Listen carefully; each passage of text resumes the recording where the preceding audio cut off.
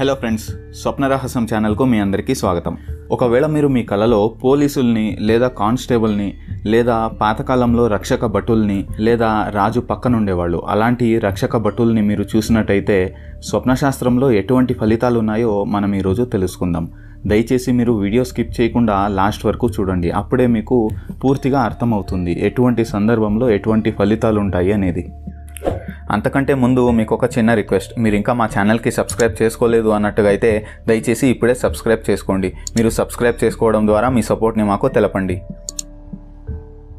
ఒకవేళ మీరు మీ కలలో పోలీస్ని ఊరికే అలా చూస్తున్నట్టు లేదా పోలీసులు మిమ్మల్ని అరెస్ట్ చేస్తున్నట్టు లేదా ఎవరైనా రక్షక భటులు మిమ్మల్ని పట్టుకుని వెళ్తున్నట్టు ఇలా మీరు కలలో చూసినట్టయితే ఇది ఒక మంచి కళ అని చెప్పవచ్చు. చాలామంది ఈ కళ చూస్తే చాలా భయపడుతూ ఉంటారు. మన జీవితంలో ఏమైనా తప్పు చేస్తున్నామేమో అని చాలా భయపడుతూ ఉంటారు. కానీ ఇది స్వప్నశాస్త్రం ప్రకారం ఇది చాలా మంచి కళ. రాబోయే రోజుల్లో మీరు విజయాన్ని తప్పకుండా సాధిస్తారు. కానీ అది కొంచెం కష్టపడిన తర్వాత మాత్రమే. కొన్ని సమస్యలను మీరు ఎదిరించిన తర్వాత మాత్రమే. మీరు బాగా శ్రమించిన తర్వాత మాత్రమే.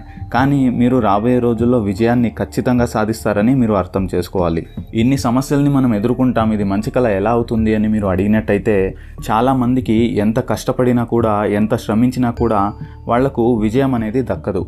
కానీ మీకు ఈ విషయంలో విజయం అనేది ఖచ్చితంగా దక్కుతుంది. కానీ మీరు కొన్ని కష్టాలని ఎదుర్కోవాలి. కొన్ని సమస్యల్ని ఎదుర్కోవాలి. దాని తర్వాత మీకు విజయం దక్కుతుంది కాబట్టి ఇది చాలా మంచి కళ అని మీరు అర్థం చేసుకోవాలి. అదే ఒకవేళ మీ కళలో రక్షక భటులు లేదా పోలీసులు మిమ్మల్ని తరుముతున్నట్టుగా మీరు చూసినట్టయితే ఇది ఒక వార్నింగ్ కళ అని చెప్పవచ్చు. అంటే ఇది మంచి సంకేతానో లేదా చెడ్డ సంకేతానో ఇవ్వదు. కానీ ఇది ఒక వార్నింగ్. రాబోయే రోజుల్లో మీరు ఎలాంటి పనులు చేసినా కూడా మీరు రూల్స్ని రెగ్యులేషన్స్ని ఫాలో అయ్యి చేయాలి. లేదా మీరు ఏది మంచి ఏది చెడు అనేది అర్థం చేసుకుని మంచి మార్గాలనే మీరు ఎంచుకోవాలి. అలా కాకుండా ఒకవేళ మీరు షార్ట్ కట్స్ని వెతుక్కున్నట్టుగా అయితే లేదా తప్పుడు మార్గాల్లో మీరు పనులు పూర్తి చేయాలి అని ఆత్రపడినట్టుగా అయితే ఏదో ఒక రకంగా మీరు సమస్యలను లేదా ఇబ్బందులను ఎదుర్కోవాల్సి ఉంటుంది. లేదా మీరు చేస్తున్న పని వృధా అయిపోయే అవకాశాలు ఉంటాయి. అందువల్ల రాబోయే రోజుల్లో మీరు ఎటువంటి పనులు చేసినా కూడా మంచి మార్గంలో చేయాలి.